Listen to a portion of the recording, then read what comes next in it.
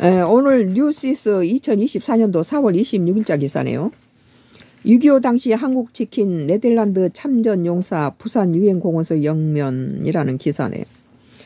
6.25 전쟁 당시에 네덜란드 군으로 참전해 자유 대한민국을 지킨 유엔 참전 용사의 유해가 국내로 봉안돼 부산 유엔 기념공원에 안장된다고 그래요.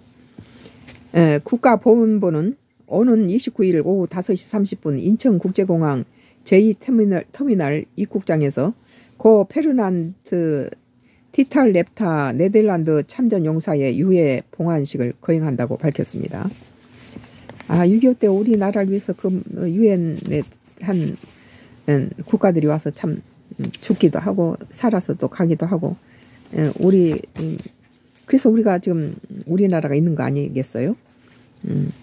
유해 봉환식에는 강정애 국가보훈부 장관 페이터 반 더 플리트 주한 네덜란드 대사 유족 고인의 배우자와 손녀 등이 참석합니다. 국방부 의장대가 도열한 가운데 고인의 유골함을 향해 예를 표하고 추모 후에 봉송 차량까지 모시는 간결한 의식으로 진행된다고 그래요. 어, 추모사는 강정애 장관과 페이터 반 플리트 대사, 고인의 배우자 차례로 낭독할 예정이고 어, 유해 봉환식 이후에 유해는 5월 1일까지 국립 서울 현충원에서 임시 안, 안치된다고 그래요.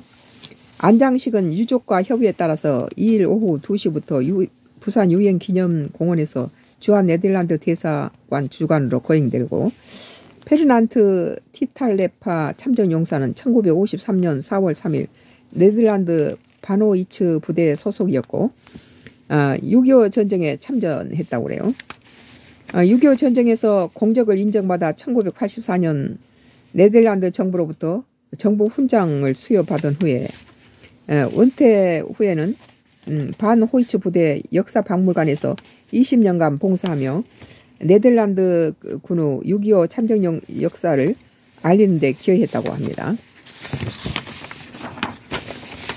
어, 참 이름 모를 많은 음, 사, 람들이 군, 군, 외국 군인들이 와서 우리나라에 참 어, 피 흘렸죠. 강정내 국가보훈부 장관은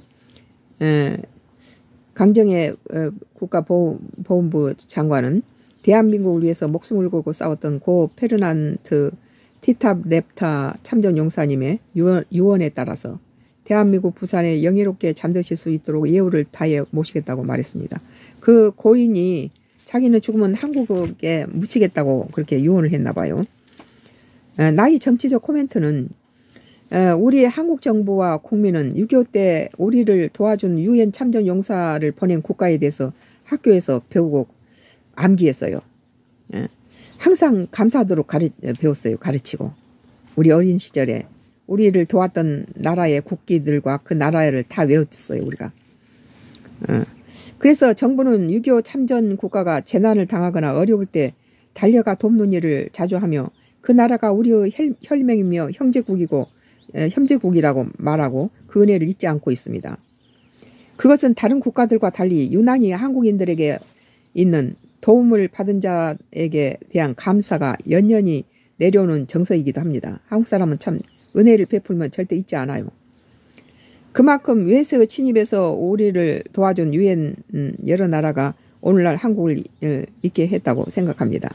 그래서 우리나라는 미국이 뭐 어, 저기 무슨 중동에 전쟁이 일어나면 다 우리, 우리 한국 군이 다 가서 피 흘리고 같이 죽기도 하고 거기서 같이 싸워주고 또 베트남 전쟁에서도 미국이 일으킨 베트남 그 참전했는데 또 한국인도 미국의 요청에 따라 거기서 가서 많은 우리 젊은이들이 죽었죠 거기서 월남전에서 어, 이런 것들이 다 우리가 그 미국과 유엔들이 다 우리나라에 다 어, 피 흘리고 여러 가지 참 음, 우리를 위해서 싸워줬기 때문에 우리도 에, 거기에 에, 참 에, 대한 대가를 다, 다 베푸는 거죠. 그런데 지금 트럼프 행정은 혈맹을 다 깨뜨려 버리고 어, 해구산 그만하겠다라고 이런 혈맹 관계를 깨뜨린 데서 참 어, 아쉽죠.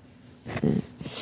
오늘 음, 그 뉴시스 2024년도 4월 26일자 기사 6.25 당시 한국 지킨 네덜란드 참전용사 부산 유엔공원서 영면이라는 어, 기사에 대해서 나의 청취적 코멘트를 했습니다.